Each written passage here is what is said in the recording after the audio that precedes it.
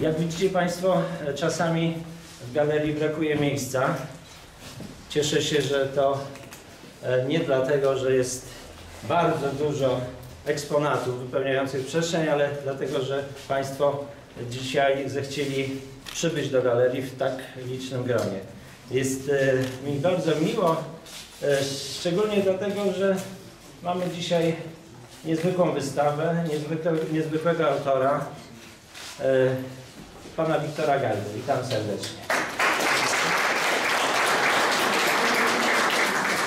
Pan Wiktor Gajda to artysta e, ze wszechmiar nie dający się wpisać w żadne mm, ramy stylowe, e, co myślę, e, myślę, że ma tego świadomość choćby dlatego, że swoje prace też oprawia w nietypowe ramy yy, i stara się nadać także poprzez oprawę tych prac pewien specyfi- specyficzny charakter e, tym pracom. E, Ukończył e, Akademię Sztuk Pięknych w Warszawie w 1962 roku, a muszę wspomnieć w jakiej pracowni, bo w pracowni Artura Nachta-Samborskiego, a wszystkim Ostręczanom nazwisko to powinno być znane choćby z tego, że nasz znany wszystkim e, Stanisław Skolimowski skończył również tą samą pracownię i byli kolegami z panem Wiktorem, znali się przez cały czas, przez cały czas mm, e, tych lat studenckich. Mm, Mało, bra mało brakowało, a pan Wiktor mm, byłby uczestnikiem pierwszego pleneru kurpiowskiego, który organizowałem w 2008 roku, ale wówczas na zaproszenie Stanisława Skolimowskiego no, nie mógł przybyć, miał jakieś inne e, ważne sprawy, a termin jaki e, był do rozpoczęcia, pamiętam, pleneru był bardzo krótki, tam nie było możliwości już manewru. Mm, A może jeszcze będą takie plany? e, Tego nie wiem, tego nie wiem, ale kto wie. Proszę Państwa, mówię o pracowni Artura Nachta-Samborskiego. To jest pracownia malarska. Pan Wiktor Gajda, jak widzicie Państwo, nie ogranicza się do malarstwa, nawet te prace, które są na ścianach, nie są typowymi pracami malarskimi. Bardziej nazwałbym je rysunkiem i to bardzo specyficznym. Mm, Poprzez działanie tych ram dość nietypowych nabierają e, takiego charakteru bardziej instalacji, albo nawet czasami e, przedmiotu e, typu ready-made. Ale poza tym prezentuje nam rzeźby, formy przestrzenne, e, nad którymi pracuje mm,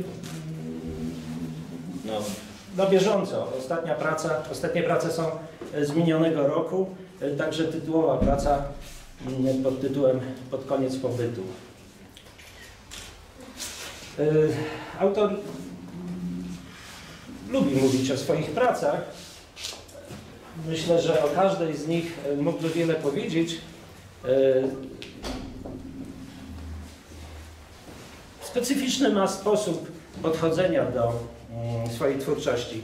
W zasadzie e, ja mam takie wrażenie, że życie go prowokuje do, do działań, a on, on, przepraszam, że tak mówię, a autor poddaje się takiej swobodnej formie wypowiedzi na każdy nurtujący e, go temat.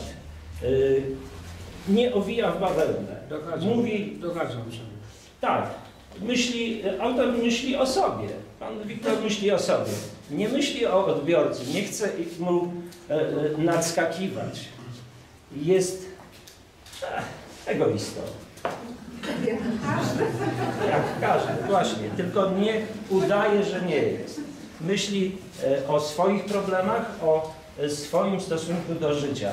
I przekazuje to w sposób, myślę, bardzo bezpośredni i bez e, zawoalowania. Oddam głos autorowi. Pan powiedział, że, że, że nie da się to określić, ponieważ do niedawna y, recenzenci y, byli w Polsce, teraz, nie ma nikogo. Niestety. e, albo, albo są jacyś tacy, że specyficzni. E, I e, A- Andrzej Osenka, który niestety jest, ma koniec życia, e, e, napisał, że e, rzeźby... Aha, czy, czy ten życiorys jest w katalogu? Tak, tak. Aha, Jest ten cytat. no właśnie, bo ja, to- ja to tam, y, że rzeźby Gajdy są w stylu osłego baru.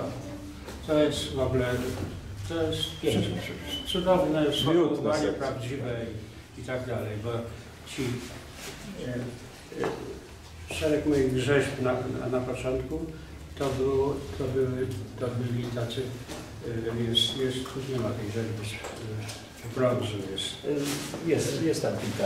Pan miał okazję wejść to już publicznie. Ach tak, jest, jest, to, to się nazywa dyskobol. Mm. E,